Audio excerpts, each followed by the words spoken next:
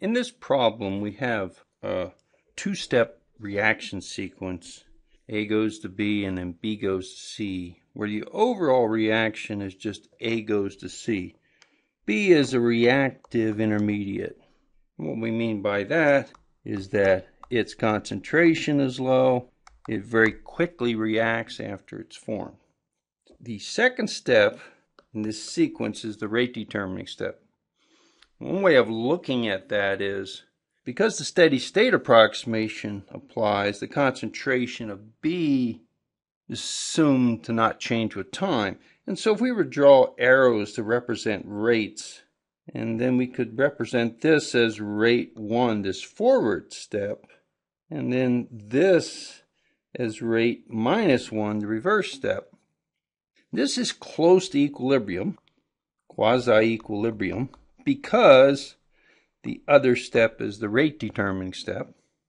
And so the second step then is far from equilibrium, where I've drawn this to indicate that the net rate, if I drew this correctly, the net rate of these two steps is the same because the concentration of B doesn't change. So this is R2, and this small thing here is R minus 2.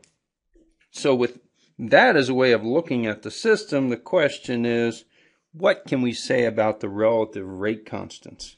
So first, K1 and K minus 1.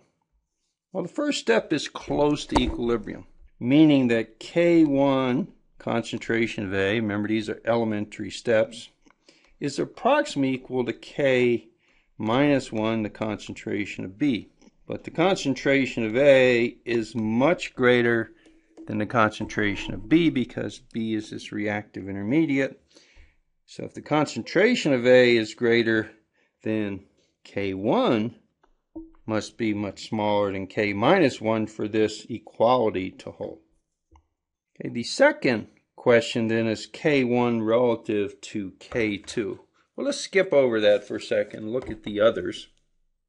K minus 1 and K2.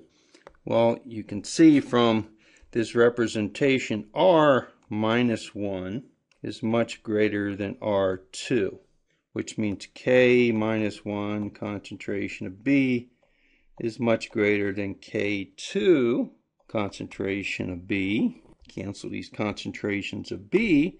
So this says K minus 1 is much greater than K2. Of course, that's what we might expect from the rate determining step.